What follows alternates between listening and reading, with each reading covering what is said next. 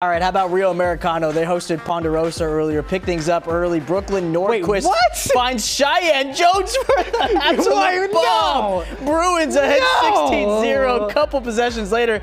Check out the senior's arm. She wasn't done. Nordquist No. to Molly McFarland. No! Ponderosa has Jake in shambles right now, up 28-0. The night would only get worse for Rio Americano, though. Raiders drive in here, but it bounces off the receiver's hands, and Molly Borges gets the INT just short of a pick six here. But how about a 41-0 win for Ponderosa?